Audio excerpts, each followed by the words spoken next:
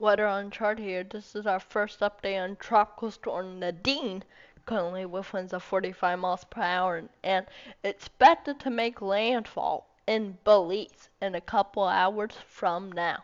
Here's how it looks on satellite.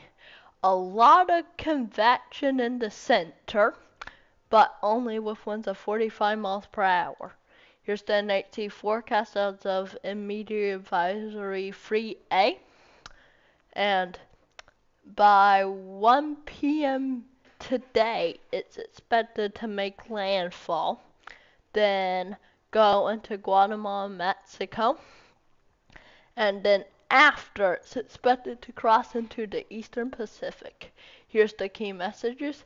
Localized areas of flash flooding are possible along the track of Nadine across southern Mexico, Guatemala, and northern Belize. Tropical storm conditions are expected along portions of the coast of the of Belize and the Yucatan Peninsula with a tropical storm warning in effect.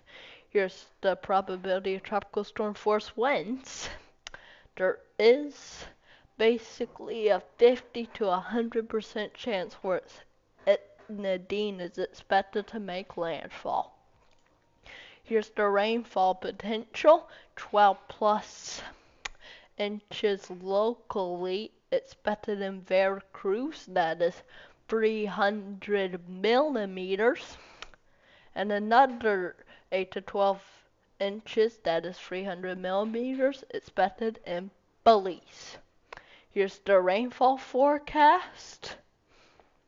Not, not rainfall. Wind the model forecast. I'm sorry I said that. Can see it. You can't really see Nadine. Now you can. Crossing into the eastern Pacific and possibly strengthening into a category 1 or 2 hurricane. Here's the GFS. You can see Nadine crosses.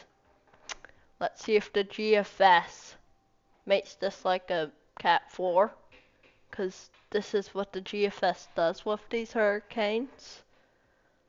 Okay, so around Monday you can start seeing it to form near Mexico. Forming a little bit. But the GFS doesn't expect us to strengthen much. That is all we have for today. Make sure to like and subscribe. Weather Uncharted out.